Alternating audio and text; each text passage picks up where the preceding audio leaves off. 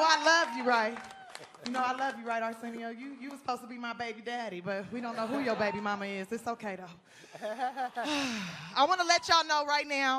Um, I just had a birthday recently, and I had to renew my driver's license. And um, I decided that I didn't like the way my life was going, so I changed my identity. Um, yeah, I, I checked the Caucasian box. I'm a white woman now. My life has changed drastically. My credit score went up by 300 points. Okay.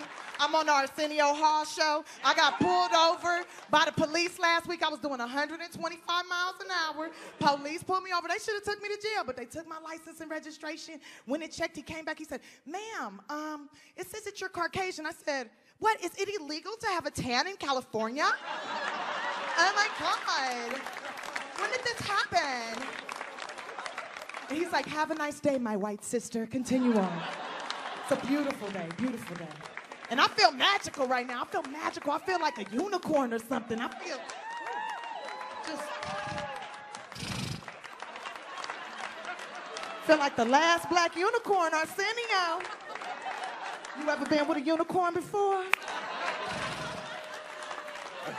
Arsenio, I've been dreaming about you all my life.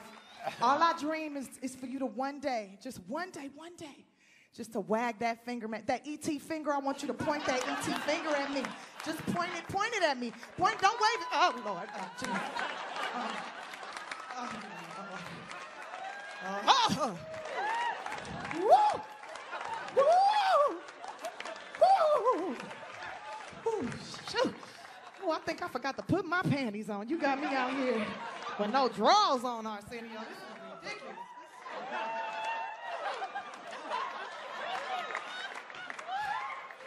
Got my she ready panties on, Arsenio. She ready. What you, know, what you know about that, Arsenio? I got my own panty line. Bye. She ready. I feel sexy. Ooh, yes. Can't tell me nothing. I feel like Beyonce right now. How many ladies you ever been walking around the house in your panties? You're like, you see yourself in the mirror? I look just like Beyonce.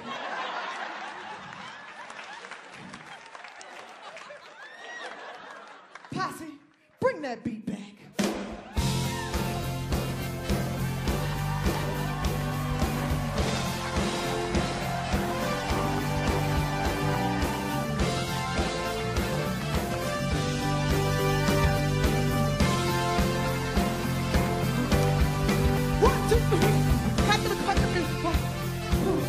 Wait, I can't breathe. Keep the fan going. Cut the music. Smoking weed and cigarettes. I can't breathe.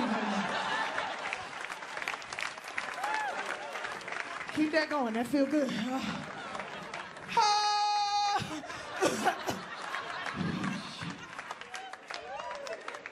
okay.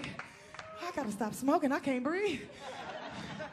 I gotta stop because in 30 years I'm messing around and have that hole in my throat.